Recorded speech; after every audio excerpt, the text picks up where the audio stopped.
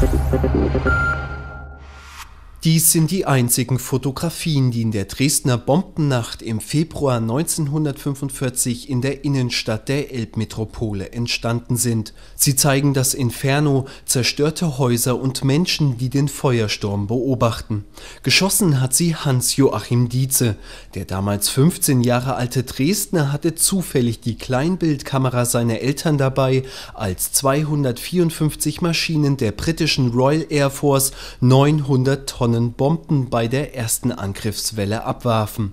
Sein Elternhaus nahe des Hauptbahnhofes bekam einen Volltreffer ab. Nur mit Glück konnte Hans-Joachim Dietze damals aus dem Keller des Hauses fliehen.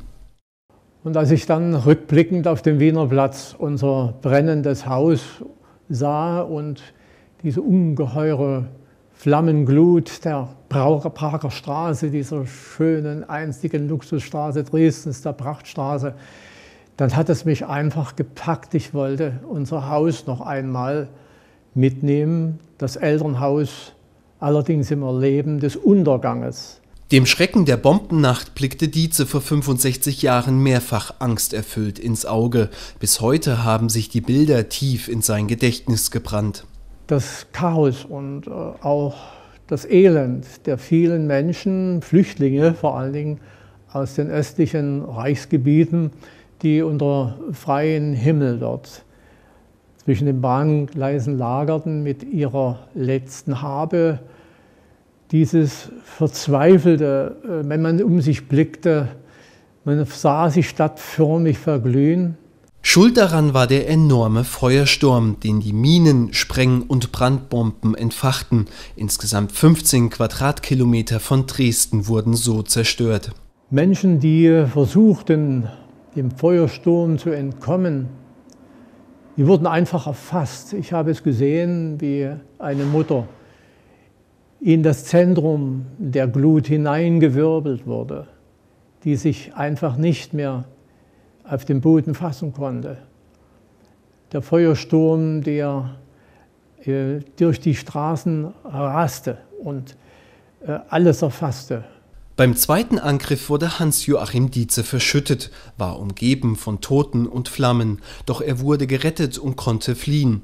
Die Fotos der Nacht ließ er wenig später entwickeln, das war auch gut so, denn nachdem die Russen einmarschiert waren, konfiszierten sie die Kameras samt Film. Es war alles tot und nur die Menschen waren damit beschäftigt, erstes Leben hereinzubekommen. Es war sehr schnell, und das muss ich immer wieder betonen, eigentlich keine Lethargie, sondern im Gegenteil.